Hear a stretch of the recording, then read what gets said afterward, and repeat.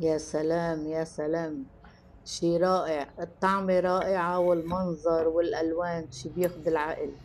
لتعملوا هيك تارت بهيدي ال... بهيدا المنظر بهيدي الطعمة آه، تارت مع الكاسترد والفواكه. تابعوا الفيديو واحضروه لآخره وشوفوا كيف طريقتي. وما تنسوا تعملوا اشتراك بالقناة إذا لسا ما اشتركتوا وتعملوا like للفيديو.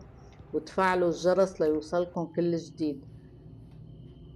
أنا قصدي المنفعة وبتمنى تكونوا عم تستفيدوا. بدنا نحضر هون 500 مليلتر من الحليب.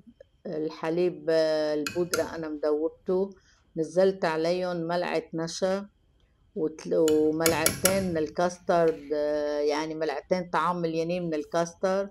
وثلاث ملاعق طعام من السكر حركتهم على البارد وبعدين شعلت النار تحتهم على نار متوسطة.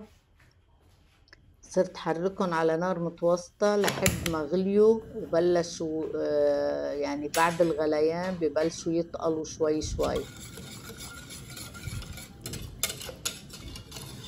بدنا نضل عم نحرك ما بنشيل إيدنا من قلبه ابدا. ملاحظين كيف صار قوامه تقل شوي. هلأ أنا سكبته لحتى يبرد وغطيت له وجهه بنايلون لحتى ما يعمل قشطة على الوجه.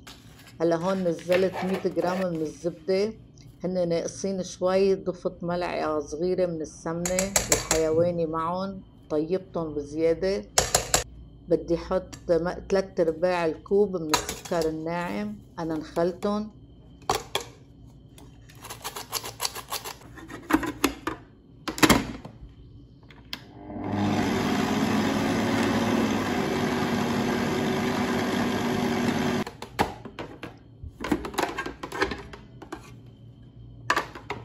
لازم أنا أشوف إذا في شي معلق على على الجدران يعني لازم نزلهم بالسباتولا لحتى ينخفق المزيج كله.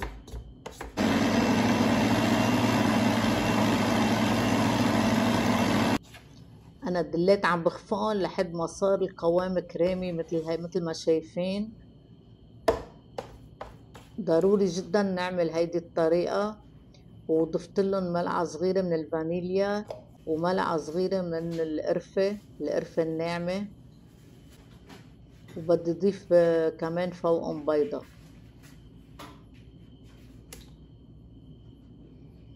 هلأ محضرة أنا كوب ونص من الطحين وبدنا نغير هيدي القطعة بالمكنة. ما المفروض بقى يصير خفق لازم تقليب هلأ.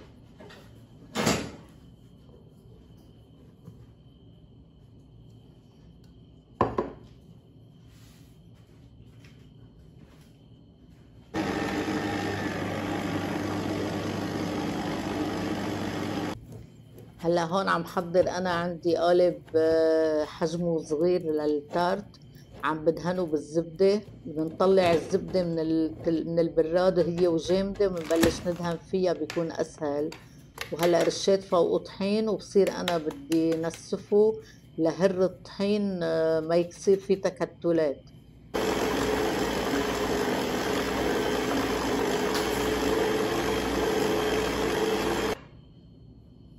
هلا العجينة تقلبت مزبوط بقلب المكنة؟ وصار قوامها بكتير كتير ناعمة وملمسها ناعم. بس لأنه على الحماوة وعلى الشوب آه، ولأنه فيها زبدة وسمنة ما فينا نشتغل فيها دغري. بدي حطها هلأ بقلب كيس نايلون. هي كتير طرية تعتبر هلأ. حطها بكيس نايلون بالبراد على القليلة نص ساعة لحتى تجمد معي شوي.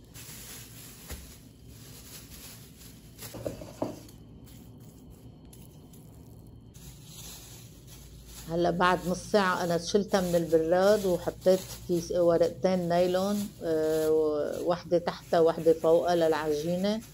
ومثل ما شايفين على أقل من مهلي بالشوبك بحاول رقة.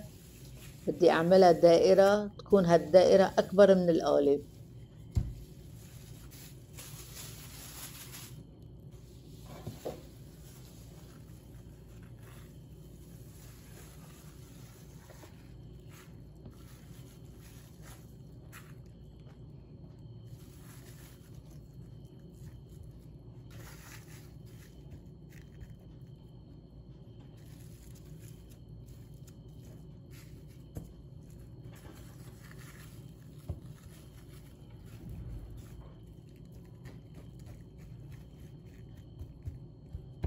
مثل ما شايفين هلا حطيتها فوق القالب بدي مسدها بأرضه.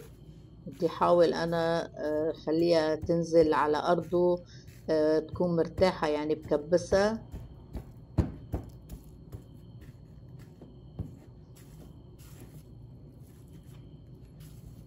من بعد ما بأمن إنه هي زبطت بأرض الصينية أنا الأطراف آه، بكبسهم على على الأطراف لأنه الأطراف كلها مسننة ومقرقشة. دغري العجينة بتطلع معي الزايدة.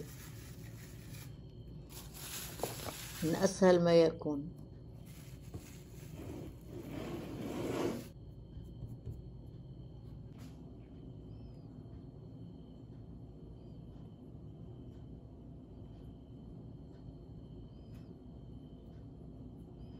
قد ما فيني بدي كبسهم وأتأكد إنه العجينة جاية مظبوط بقلب الصينية تبعت التارت.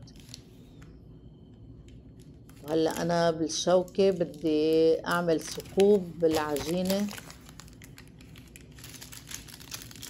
ثقوب خفيفة مشان العجينة ما ترفخ. إذا عندكم ورق زبدة من الأفضل تحطوا ورق الزبدة وتحطوا تقل على العجينة لحتى ما ترفخ بقلب الفرن. هلأ دخلتها على الفرن ولما احمرت الأطراف أنا شلتها لبرا وناطرتها لتبرد شوي لحتى أشيل عنها هيدي القطعة اللي أنا مطقلة فيها.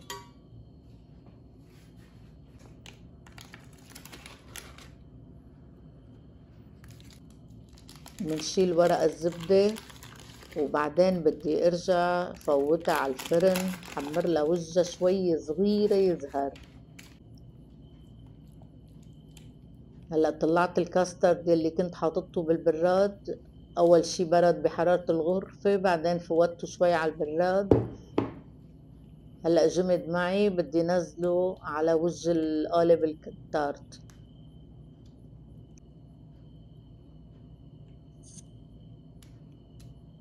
هلا بضل بملسهم لحتى يصيروا سطحهم مستوي. بدي أنا محضرة الفريز اللي غسلته شي عشر مرات وأنا حغير ميته وينزل منه التراب. لازم تتأكدوا تماما إنه انغسل تماما الفريز. كتير بيحمل تراب وبعدين بتقطعوه وقشرت الكيوي وحضرت العنب. فيكم تحطوا الفواكه اللي موجودة عندكم أو يلي بتحبوها.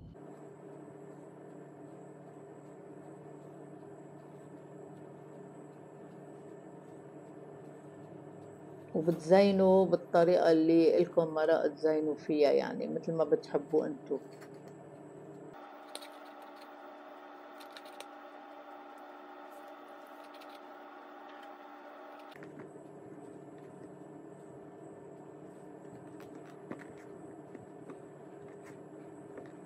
يا سلام على الألوان شي بياخد العقل؟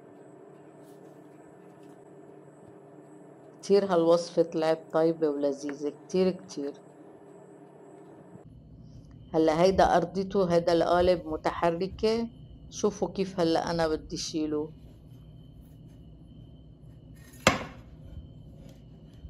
بهيدي الطريقة نزلت الكنار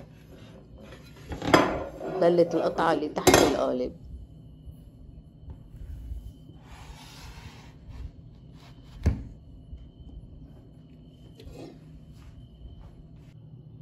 ألف صحة وهنا على قلبكم وإن شاء الله ما تنسوني واعملوا لي اشتراك للقناة ولايك للفيديو وفعلوا الجرس ليوصلكم كل جديد.